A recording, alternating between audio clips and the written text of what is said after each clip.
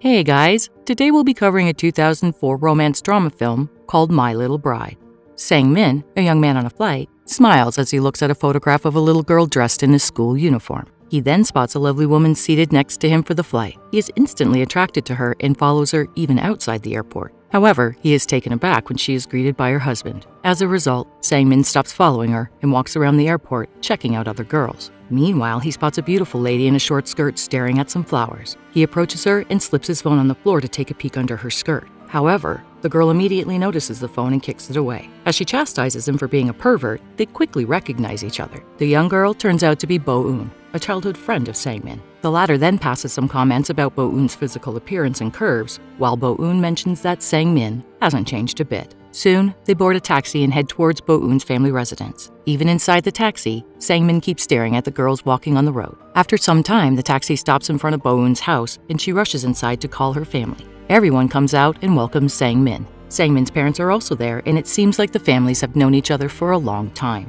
Before entering inside, Sangmin asks Bo-eun's mother about her grandfather's health. She tells him to be ready for something big. In the following scene, Bo-eun is feeding her grandfather while Sangmin is sitting beside her. Her grandfather then mentions that during his young age, he made a promise to Sangmin's grandfather that their children would marry one day. As both of them only had sons, the promise could not be fulfilled and was passed on to the next generation. He then asked Sangmin and Bo-eun to fulfill that promise so he can face Sangmin's grandpa after his death. Shocked, Sangmin and Bo-eun ask their grandfather if it's a joke. They just laugh it off and walk away. The next day, Sangmin returns to his college and makes a call to his pals to let them know about his return. His friends ask why he has returned so suddenly, and he responds that it is because of a family emergency, in particular, his marriage. Elsewhere, Bo-eun is at school watching her crush play baseball. Suddenly, she remembers her grandfather saying that her marriage with Sang-min is his last wish, which makes her sad.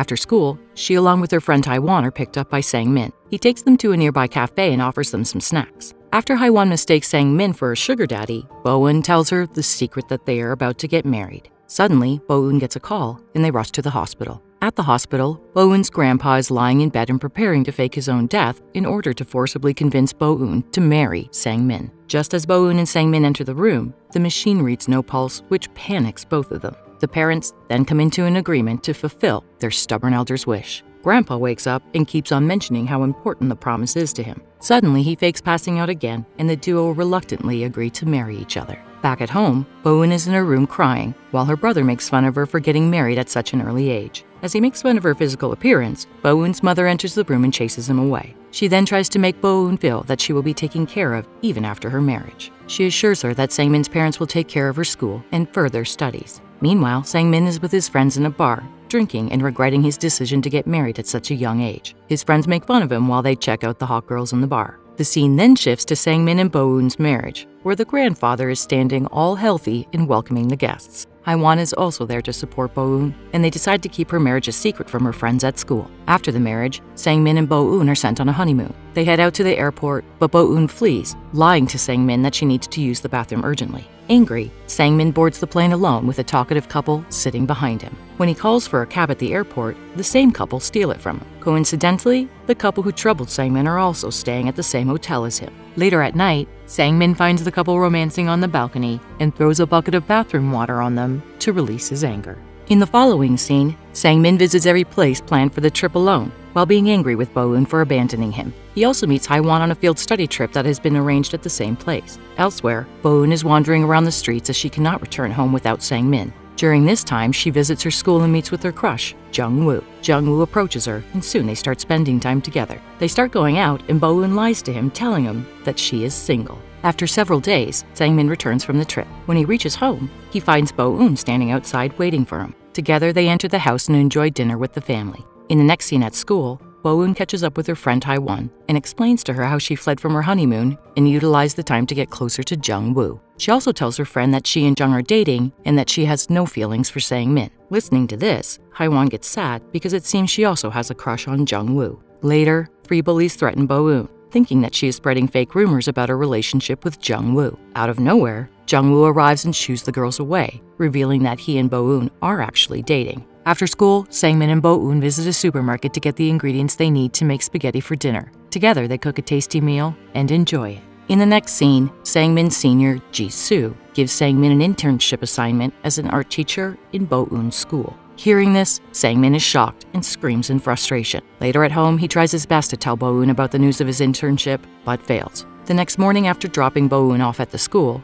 Sangmin also enters and asks some students about the faculty office. He is then welcomed by the principal and a female teacher, Miss Kim. Following that, she takes Sangmin to introduce him to his new class. When Miss Kim takes him to Bo-eun's class, she is surprised to see Sangmin as her new teacher. The next day, Bo-eun saves Sangmin from being embarrassed in front of the class. Later, Sangmin is warned by Haiwan, who asks him to take care of his wife's actions. While he is confused by the warning, Miss Kim approaches him and asks him to join her for lunch. Despite Sangmin's refusal, she forces him to eat food from her lunchbox, with the whole school watching them. Bo-eun also watches them enjoying their time and feels a little bit jealous. Later at night, Bo-eun tries to study but cannot concentrate because of the loud music Sangmin is playing outside. She rushes outside and snatches the remote from him to turn off the TV. Sangmin gets annoyed and the two start arguing. While they are arguing, Miss Kim arrives, looking for Sangmin. They manage to hide their wedding photo and Bo-eun's belongings before Miss Kim enters the apartment. However, Bo-eun does not get the chance to leave, so she hides behind a curtain. When Miss Kim gets near her, she wraps the curtain around her and runs wildly out of the apartment. In the next class, one of the female students asks Sangmin to tell them about his first love. Sangmin tells him that his first love is the only girl who visited him during his military days. Sangmin is looking at Bo-eun when he is explaining all of this, but she is thinking of Jisoo as the girl who might have visited him. Later during the day, Sangmin gets a letter from his friend about being invited to a military training camp. The scene then shifts to the training camp where Sangmin and his friends are enjoying their training. During lunchtime, Bo-eun arrives there with a lunchbox for Sangmin, and everybody is surprised to see her. While he is having lunch, Sangmin's seniors approach him and make him do some harsh training. Bo-eun cannot stand this and confronts the seniors to leave her husband alone. Seeing Bo-eun defend him, Sangmin gets happy. Later, the married couple gets into trouble with some goons on the road. They are brought to the police station where the officer doesn't believe them that they are married, and instead suspects them of being an illegal couple. Left with no other choice, Sangmin calls the principal who knows about their marriage and asks for help. In no time, the principal arrives there with Ms. Kim and bails them out. However, Ms. Kim is heartbroken after finding out that Sangmin is actually married to Bo-eun. The next day at school, an angry Miss Kim assigns Bo-eun to paint a huge wall with a picture before their upcoming festival. Seeing Miss Kim being unfair to Bo-eun, Sangmin approaches her and asks her to change Bo-eun's task, but she refuses and walks away. Afterward, we see Bo-eun trying to paint the huge wall. To help his wife, Sangmin stays after school alone and paints the wall assigned to Bo-eun. The next day while Bo-eun and Haiwan are painting the wall, Ms. Kim arrives there to inspect and reminds them about the festival approaching.